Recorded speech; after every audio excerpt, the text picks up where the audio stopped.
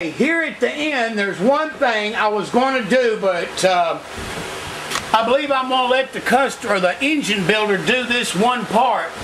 Is I've got the stud in here, and as you can see, part of this stud is sticking in the port. Now, that is an airflow hindrance. You can see it right here.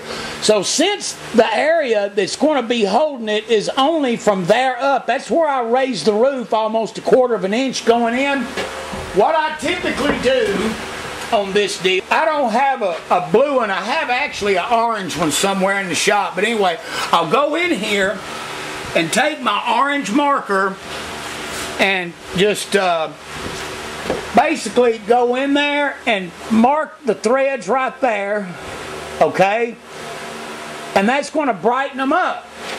Now, after that, you can remove them and it's going to show where I painted it orange right there on that thread. You uh, take it out.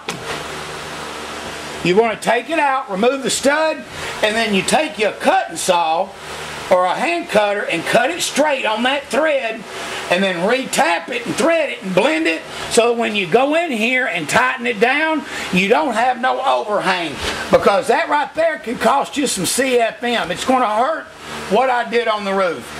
So I'm going to let the engine builder do that and trust him to do that part of it. Uh, I have told the customer and he's aware that the engine builder has to go in there and trim that down. Alright, so let's go ahead and see, see the port and see what we got left to right.